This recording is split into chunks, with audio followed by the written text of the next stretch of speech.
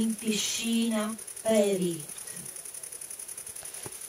Queste pietre, questi arcipelaghi di cocci, questa desolazione, questa impietosa dimostrazione dell'esistenza del tempo hanno catturato la mia mente e il mio cuore.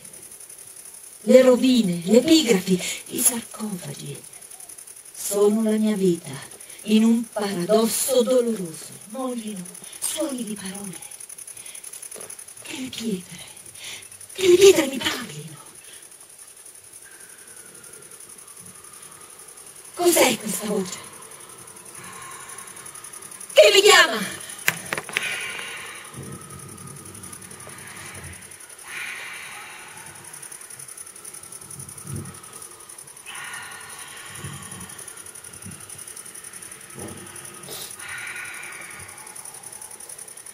Non c'è nessuno. Non c'è nessuno. Ecco, la sento di nuovo.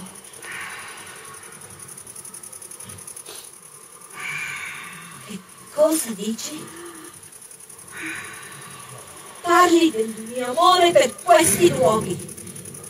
Un amore tanto grande da far tornare sulla terra alcuni dei morti che amato. Potrò ascoltarli ma non guardarli e nemmeno parlare con loro, altrimenti svaniranno nelle tenebre. L'ordine naturale non può essere sconvolto oltre misura,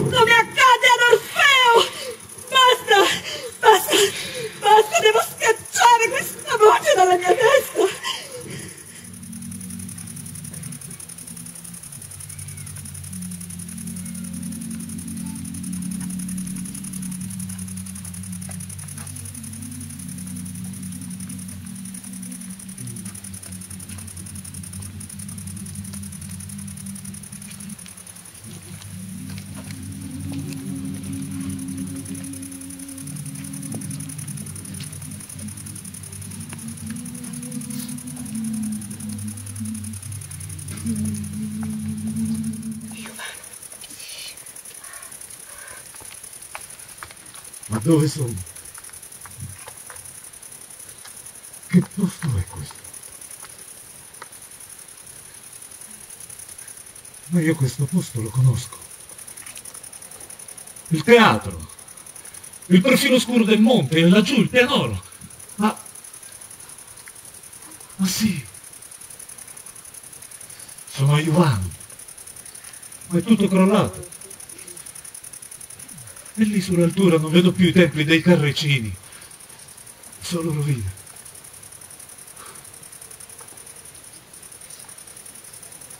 Ma perché sono qui? Vorrei saperne di più. Mi guarderò un po' in giro. Posso però fare a meno di dirti che le tue parole mi offendono. No, no, no, no, mio buon amico, non offenderti. Piuttosto, scendiamo nel foro. Andiamo a vedere com'è cambiata questa città. Riconosco il luogo. Ed è proprio qui che il serpe col suo morso mi fece sprofondare nelle dimore dell'ave. Proprio qui. Guardate, su questa epigrafe c'è il nome di Asteride. Asteride, il mio nome. Sacro ai defunti. Il foro. Il foro. Dov'è il foro? Non c'è. Il foro non c'è. La pavimentazione non c'è. Eppure avevo lasciato precise disposizioni nel mio testamento. Gli eredi. Gli eredi non hanno rispettato le mie volontà. Te l'ho detto. Te l'ho detto e te lo ripeto. Le tue disposizioni testamentarie sono state eseguite alla perfezione. Il foro. Il foro è stato pavimentato. E io stesso mi ho calcato le lastre. Dove sono? E quegli uomini? E quelle donne? È il pallore della morte o è la luce della luna a sbiancarne i volti? Ho paura ad avvicinarmi, mi fissano. ma nei loro occhi, nei loro occhi non c'è alcun guizzo di vita. Sono morti come me, non potranno farmi alcun male. Vi prego, ditemi, per il nostro comune destino di morti, dove siamo? Donna, sei tornata sulla terra. A Iuvanum. Sì, a Iuvanum. Ma fatti vedere. Ma, ma tu sei... Ma tu sei fortuna. Fortuna, amica mia. Pigna! Pigna Procula! Fortuna. Fortuna nel nome tu serbavi il tuo destino. Gli dei ti concessero un lungo e felice matrimonio. L'amore di Tuberone ti accompagnò per venti lunghi anni. Ricordo ancora quando tra le lacrime ti suggellò gli occhi e poggiò il capo sul tuo. Lacrime false! E dolore da mimo malvagio. Se gli dei sono giusti, cara Brigna, ora Tuberone sconta le sue colpe nei recessi più spaventosi dell'Ade. Ma che dici? Ma quali colpe? Te lo dico io quali colpe. Tuberone mi ha uccisa. No! Teate, gli dei non scelsero. Perché Roma gli dei non scelsero? Perché della terra dei Partini, dovata da me, con meritato seguito di trionfale trionfo gli dei non scelsero? Perché Roma gli dei? Entrato, è entrato in un vortice di parole! Bisogna aiutarlo a venire fuori, ti prego, fermalo! No, no, no, no, no, non ci penso neanche. Criticherebbe con durezza le mie parole. Pensa che criticava perfino Cicerone, il decoro e faro dell'eloquenza romana. E Tito Livio, principe degli storici. Splendidi brandelli diversi. Dedicai poco tempo agli studi. Spesi la mia vita a fare il bene del mio municipio. E ad ammucchiare se sterzi. Ma chi c'è là? Caio Asinio! Ma avanzare chi vedo? Partoriscono le tenebre mortali. Mortali morti o a morir destinati.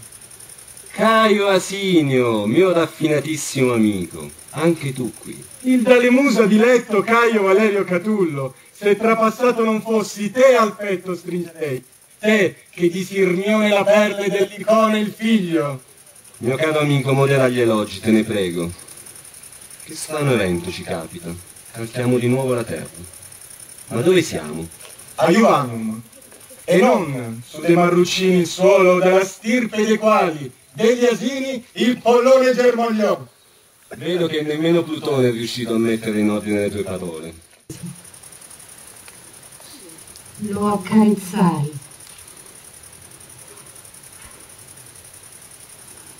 Era caldo. Il calore non lo aveva ancora abbandonato del tutto. Sembrava sorridesse. Ed io lo chiamai. Lo chiamai. Non so per quante volte lo chiamai. Una fatale caduta da cavallo. Sì, una crudele disgrazia. Pregammo insieme ogni giorno gli dei di concederci la morte per rivedere nostro figlio. E gli dei ce la concessero nel giro di due anni. Moristi prima tu. Io un mese dopo aver chiuso i tuoi occhi mi addormentai per sempre. Quando lo rividi nel lago, sembrava mi sorridesse da lontano e finalmente poté ridere di gioia. Ecco, sopraggiunge Cerere. Da giovane, un iniquo destino mi strappò ai genitori e alla patria. E ora, per un incomprensibile disegno del fato, faccio ritorno sulla terra. O fato crudele, una giovane vita ci hai rapito. Per una crudele disgrazia sono rimasti privi di tanta devozione.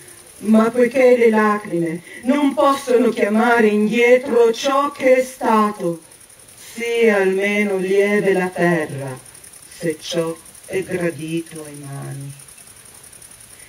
Egli avrebbe compiuto sedici anni d'età, cosparse di balsamo e olio le dolcissime ossa riposi. Vorrei vederlo. No, No, non devo. Devo. Padre, padre, siamo di nuovo insieme sulla terra e, come credo, torneremo ad esserlo anche nell'Ade. E continueremo ad essere felici e sereni tutti insieme. Se non fosse per quella sottile malinconia che mi invade il cuore quando ripenso alle cavalcate con il sole negli occhi e il vento sul volto e, e le nuvole che correvano con me nel cielo. Perché? Perché gli dei ci fanno serbare memoria della nostra vita? È questo, Celere, che ci permette di amarti anche nell'oltretomba. Sì, tu hai ragione, madre, ma la pacatezza dell'Elisio e i nostri movimenti così gravi è tutto così. Morto. Questa è la morte. Ragazzo, Non resisto. Sentite, si è alzata la brezza, è, è leggera ma mi ferisce al volto come una scudisciata. Ah! Un dolore straziante colpisce anche me qui sulle braccia e sulla fronte. Una brezza che porta con sé un profumo come di, di menta, mi sembra. Che strano. Ma ho le narici in fiamme e le tempie mi pulsano forsennatamente. Ma com'è possibile? Che succede? Che ho fatto? Sentiamo il vento sulla pelle, proviamo sensazioni, siamo morti e proviamo sensazioni. È vero, mi sono punto. Se come una lancia mi avete trafitto un piede. Allora vuol dire che gli dei ci hanno concesso di tornare sulla terra. Siamo vivi, completamente vivi, forse troppo vivi. Figlio, posso una gioia così piena. Madre, madre, il vostro abbraccio mi stridola. Che ho fatto, mio Dio? Forse, forse non saremo costretti a tornare nell'area. Forse potremmo rimanere qui, sulla terra. Se così fosse saremmo costretti ad una vita piena di sofferenze. Saremmo costretti a morire di nuovo. Fosse ancora per qualche giorno, nonostante il dolore. Sarei felice. Anch'io! Iraniemo! E persino gioire potrei rimanere in quest'ampia distesa illuminata dalla lampada del cielo, altrimenti del sole. Non disturbano le questi umani, respirano l'aria, ma i miei polmoni sono quasi scoppiati. Minchia! Minchia! Rifinito, risposto, le tenaglie! Celere, celere! Cos'è? Cos'è questa voce? che Mi orecchie come uno squillo di trono! Sei donna, gli occhi mi dolgono a guardarti. Celere, perdonami! Perdonami! E poi, amici, perdonate! Per colpa mia! Sì, per colpa mia! Per colpa mia! Guardate! Guardate! Cos'è quella luce lì nel prato? È un segnale.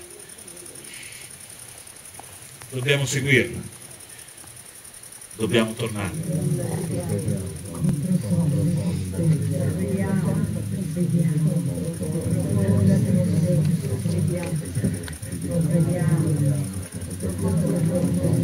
Thank you vediamo, la vediamo profondo, vediamo, vediamo, vediamo,